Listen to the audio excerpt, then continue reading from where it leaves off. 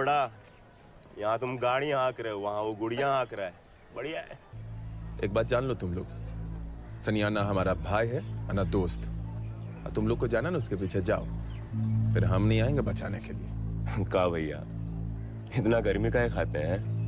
आजकल कोई मिल नहीं रहा क्या गर्मी निकालने के लिए? नमस्कार। मैं राहुल श्रीवास्तव और आप देख रहे हैं साहित्य सिनेमा और समाज। आज के हमारे मेहमान हैं फ़िल्म और टीवी एक्टर सरफराज अली मिर्ज़ा। सरफराज जी बहुत बहुत स्वागत है आपका आज के इस कार्यक्रम में। Thank you thank you so much सबसे पहले तो जामतारा के लिए बहुत बहुत बधाई। बहुत अच्छा काम कियो। बहुत ही अच्छा काम किया आप लोग। Thank you so much thank you so much तो हालाँकि हम आगे बात करेंगे लेकिन हम जानना चाहेंगे जानना चाहेंगे इससे पहले कि आपका जो फैमिली बैकग्राउंड है उसके बारे में आपका जन्म कहाँ हुआ कहाँ के हैं रहने वाले हैं आप? और एक्टिंग में किस तरह आप आए? जी। है ये कि हमारे अम्मी और अब्बू दुनिया के दो अलग अलग इंसान हैं और लेकिन एक चीज़ उनमें बहुत कॉमन थी प्यार उनकी अपनी अपनी फिलोसॉफी होने के बावजूद दोनों कहीं ना कहीं बीच में जो उनको जोड़ता था वो प्यार था हम्म। और यहीं से मेरी जर्नी की शुरुआत होती है कि हमारी वालदा साहब हमारी अम्मी से हमें मिला लिटरेचर क्योंकि वो प्रोफेशनली टीचर हैं बच्चों को पढ़ाती हैं और हमारे अब्बू साहब पेंटर थे और नाटकों में सेट डिज़ाइन किया करते थे इसकी जर्नी जर्नी शुरू होती है राहुल अहमदाबाद में मेरा घर है मैं अहमदाबाद का रहने वाला हूँ अच्छा, अच्छा। हम्म। तो अहमदाबाद में मेरे घर के एग्जैक्ट सामने ऑडिटोरियम है हम्म। जयशंकर सुंदरी हॉल अच्छा। तो यही था कि घर की खिड़कियों से घर के बरामदे से नज़र आता था तो मेरे लिए तो भीड़ का मतलब शुरू में वही था और हम्म। क्योंकि पापा के काफ़ी फ्रेंड्स हुआ करते थे जिनमें काफ़ी एक्टर्स होते थे डायरेक्टर्स होते थे हम्म। और क्योंकि मेरे पापा भी इसी में जुड़े हुए थे आर्ट डायरेक्टर के रूप में सेट हम्म। डिज़ाइनर के रूप में तो मेरा बचपन उन्हीं के बीच में गुजरा है तो वो सारा कल्चर मेरा वहीं से बनना शुरू हुआ लेकिन हम्म। तब तक मैंने डिसाइड नहीं किया था कि शायद मैं एक्टर बनूँगा या वैसा कुछ था नहीं। आ, लेकिन हुआ ये कि पढ़ाई में मैं ठीक ठाक लड़का था। मतलब पास होना चाहूँ तो हो जाता था। अच्छा। तो यही था कि हाँ ट्वेल्थ में पास आउट होने के बाद मैंने एक जगह पे एडमिशन लिया कॉलेज में। कमर्शियल था। बीकॉम में एडमिशन लिया। आ, लेकिन शायद रुझान कुछ और ही था। आ, मुझे समझ में बिल्कुल नहीं आने लगे वो आंकड़े। तो लकीली मैं फेल हो गया फ़र्स्ट ईयर में। अच्छा। उसके बाद एक ही चीज़ का डर आया कि घर पे क्या बोलूँगा। मम्मी से हमारी वालिदा बहुत स्ट्रिक्ट थी पढ़ाई के मामले में। हम्म। तो डरा था दो तीन दिन मैंने सोचा कि क्या करूँ क्या करूँ। तो मेरे कुछ फ्रेंड्स थे जिन्होंने मुझे ड्रामा डिपार्टमेंट के बारे में बताया था। गुजरात यूनिवर्सिटी में एक डिपार्टमेंट है जहाँ पे थिएटर पढ़ाया जाता है। तो वही था कुछ दस पंद्रह रुपए का फॉर्म था वो लिया भर दिया। कुछ लोगों ने बताया कि ऐसे ऐसे आपको परफॉर्म करना होता है कविताएँ होती हैं। तो प्रैक्टिकल एग्ज़ाम में आ, मैंने क्लियर कर लिया। तो फिर एडमिशन भी मिल गया मुझे। हम्म। और घर पे जाने से पहले मेरे वालिद को अब्बू को पता चल गया था कि आ, मैं इस ड्रामा कॉलेज में एडमिशन ले चुका हूँ हम्म। क्योंकि जो वहाँ के एच थे हेड ऑफ़ द डिपार्टमेंट थे वो मेरे पापा के दोस्त थे उन्होंने पहले अच्छा। भी साथ में काम किया अच्छा तो ये था कि वो चीज़ें फिर पापा ने ही आसान बनाई कि मम्मी को कैसे फेस करना है और जैसे मैंने पहले बताया दोनों अच्छा, अलग अलग सोच के हम्म, दो। अलग अलग व्यक्ति है जो साथ में रह रहे हैं तो यही था यहीं से शुरुआत हुई फिर मेरी थिएटर की तो आपके वालिद जो थे वो आपको सपोर्ट करते थे उस वक्त उस वक्त शुरू से ही? जी शुरू से ही। शायद वही एक मात्र इंसान थे जिनको शायद इतना यकीन था मुझमें कि मुझमें वो शायद कुवत है हम्म। ज़िंदगी को समझने की और आर्ट को परस्यू करने की। तो हाँ मेरे पापा का बहुत सपोर्ट था। शायद वो हम्म। नहीं होते तो मैं कुछ आर्ट से नौ से पाँच कुछ कर रहा होता तो ये ये जो उनका भी वो भी एक सेट डिज़ाइनर थे थिएटर थिएटर में काफ़ी इन्वॉल्व थे वो। तो उन्होंने उन्होंने शायद समझा आपको और आपकी चीज़ों को राइट ऐसा जी बिल्कुल जी। तो एनएसडी जाना कैसे हुआ? एनएसडी का ख्याल कैसे आया दिमाग में और? हाँ, 2010 में मैं ग्रेजुएट हो गया था ड्रामिक आर्ट से। फिर दो साल लगातार मैंने अपने ही शहर में बहुत स्ट्रगल किया थिएटर करने के लिए। हम्म। अ, मेरे क्योंकि सारे बहुत अच्छे बैचमेट्स थे मेरे सीनियर्स थे तो हम लोगों ने ग्रुप बनाया और काफ़ी प्ले किया अहमदाबाद में एक्सपेरिमेंटल प्ले किया। हम्म। लेकिन तब धीरे धीरे समझ में आने लगा कि और सीखने की ज़रूरत है। हम्म। तो 2010 में ग्रेजुएट होने के बाद चीज़ों को समझने में प्रैक्टिस करने में लगा कि और भी चीज़ों को गहराई से समझने की ज़रूरत है और फिर यहीं से एनएसडी का ख्याल जहन में आया और ओके अच्छा। ट्राई किया 2013 में। तो 2013 में मेरा एडमिशन नहीं हुआ राहुल।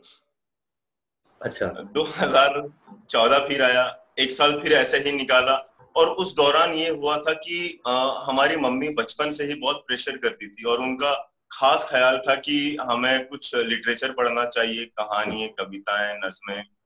तो वो बचपन से ही आदत माँ से मिली थी पढ़ने की।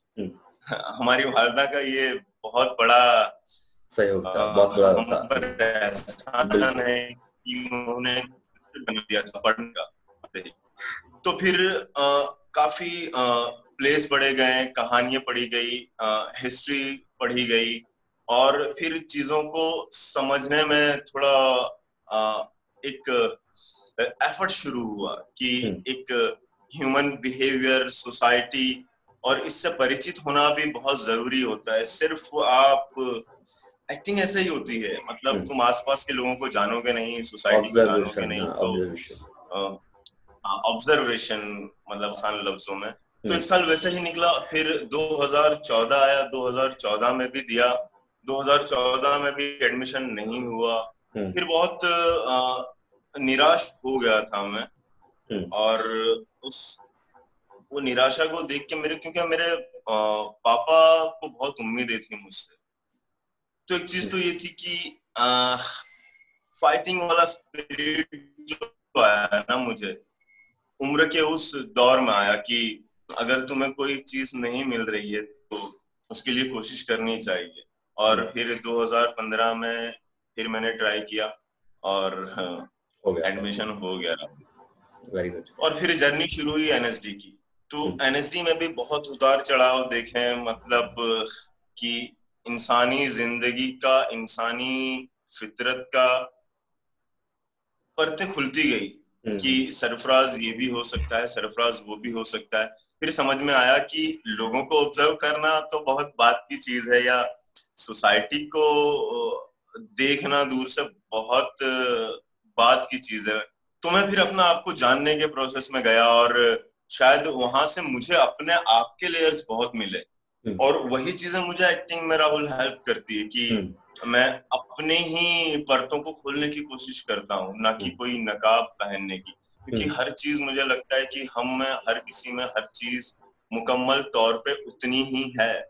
ज़रूरत है तो सिर्फ़ उसे खोजने की। तो उसी खोज में लग गया राहुल में। जी जी।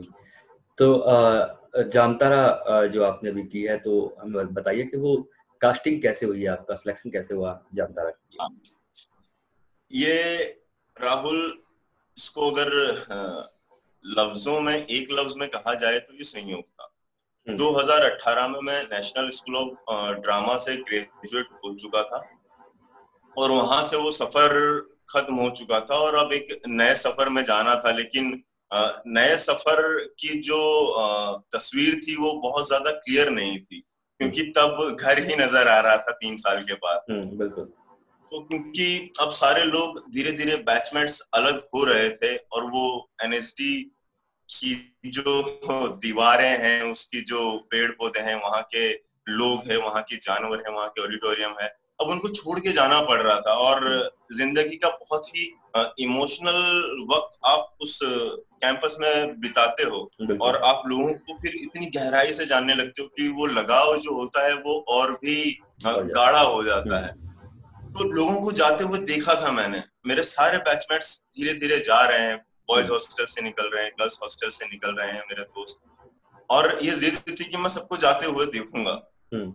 और फिर लास्ट में मैं बचा था और मैंने टिकट बुक किया और अपने घर रवाना हुआ मैं जैसे ही एयरपोर्ट से बाहर आ रहा हूँ मुझे एक फ़ोन कॉल आया मुंबई से हम्म। कि सरफराज मैं कास्टिंग एजेंसी से बात कर रहा हूँ और आ, आपको एक ऑडिशन है आप आ जाइए कल हम्म। मैंने बोला सॉरी दोस्त मैं नहीं आ पाऊँगा मैं अहमदाबाद में हूँ तो उन्होंने बोला कि ठीक है थोड़ा और टाइम ले लो मैंने बोला ठीक है मैं परसों आ सकता हूँ।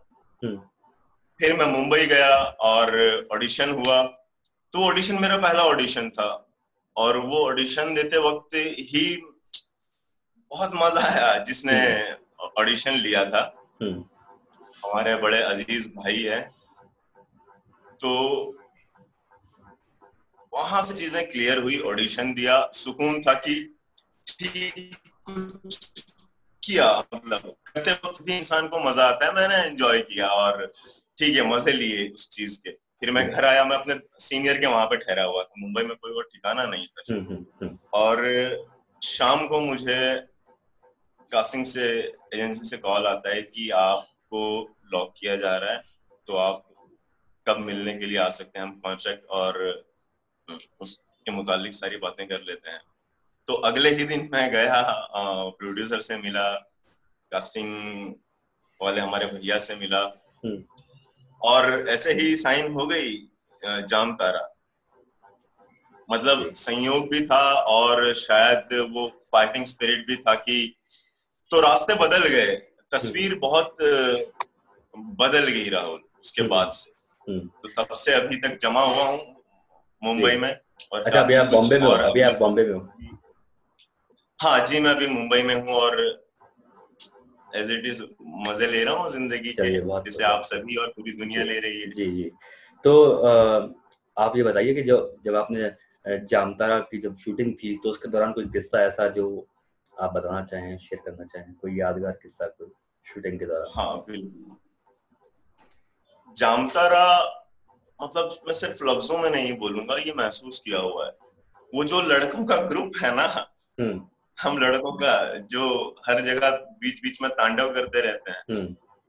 तो ये हम शूट से पहले ही मिल लिए थे। हम्म।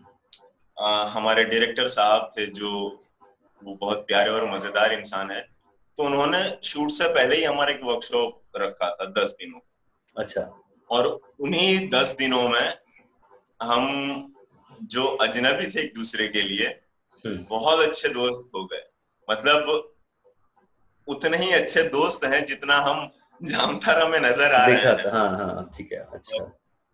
ये दोस्ती अभी भी चल रही है। हम्म। तो हर एक इंसान के साथ बहुत मज़ेदार एक्सपीरियंस रहा है लेकिन मैं अगर अपना पर्सनल एक्सपीरियंस जो जो इमेजेस मुझे अभी भी याद हैं हम्म। जिनको मैं आँख बंद करूँ तो वो बकायदा वो फ़िल्म वो इमेज मुझे नज़र आने लगेगी। हम्म। तो एक सीन था रात को हमारे जो जामतारा में विश्वा जी हैं जो पुलिस दादा है हाँ, हमारे। हाँ, हाँ। तो उनके साथ एक सीन था रात को कि उन्होंने मुझे और शाहबाज को पकड़ लिया है और ये अब हमको पुलिस वैन में ले जा रहे जस्ट हाँ थ्रोइंग अच्छा। तो वहाँ पे एक सीन है जहाँ पे मैं एक लुक देता हूँ विश्वा जी को और कुछ बोलता हूँ और वो मुझे चमाट मारते हैं। तो वो पहला ही सीन ओके हो गया था। अच्छा। और उससे पहले हमें पता भी नहीं था मैं दिव्येंदु दा से बहुत मोहब्बत है। हम्म। दिव्येंदु भट्टाचार्य जी हम्म हम्म, जिन्होंने विश्वा जी किया हुआ है। तो संयोग से फिर एक रिश्ता मिल गया राहुल। उन्होंने थप्पड़ मारा बहुत ज़ोर से लगा था मुझे। अच्छा। और मैंने भी वहाँ पे इम्प्रोवाइज किया स्पॉन्टेनियस बिहेव किया तो जो है वो एक्सप्रेशन फिर बाद में सीन कट हुआ और फिर दिव्येंदु दा आए। बोले बच्चा तेरे को लगा तो नहीं ना सॉरी यार हम्म, हम्म, और हम्म, बहुत से भूल से लग गया। और फिर उन्होंने पूछा कि क्या नाम है और कैसे?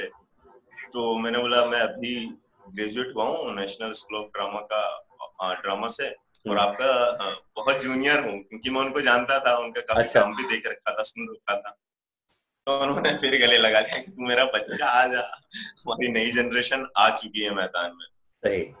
तो ये दिव्येंदु दा हमारे विश्वास जी के साथ एक अच्छा पहला ह्यूमन टच था मेरा। हम्म, हम्म, तो मज़ेदार था वो तो वो मेमोरी रह गया यहाँ पे वो साउंड और वो सेंसेशन बिल्कुल बिल्कुल बिल्कुल। तो आने वाले कल के लिए आपके प्लान्स क्या हैं? कुछ ऐसा पाइपलाइन में भी कुछ है? जो आप चाहेंगे बस बोलिए। हाँ पाइपलाइन में भी दो प्रोजेक्ट है जिसको मैंने साइन किया हुआ है। लेकिन अनफॉर्चुनेटली जो दुनिया अभी जिस चीज़ को फेस कर रही है हम्म, जिस पैंडेमिक को और हम सारे ही लॉकडाउन है और सारे काम रुके हुए हैं। और राहुल हम इतने बदकिस्मत लोग हैं कि पता नहीं इस, इसका रास्ता कैसे निकलेगा कि विद कोरोना हम कैसे काम करेंगे? हाँ, आर्टिस्ट लोग खास हो चुके हैं। जो बिल्कुल बिल्कुल क्योंकि हमें लोगों से गले भी लगना है हमें लोगों को बाहों में भी लेना है फाइट भी करना है टच करना है। तो हम वो कैसे कर पाएँगे? तो मेरा कंसर्न यही हाँ कुछ प्रोजेक्ट मैंने अभी साइन किए हुए हैं और अभी उनका ऑफिशियली अनाउंसमेंट नहीं हुआ है तो हम्म, अभी मैं ऑफिशियली अनाउंस नहीं कर पाऊँगा प्रोजेक्ट हम्म। का नाम लेकिन हाँ है मतलब अभी सफ़र थोड़ा शुरू हो रहा है। जी।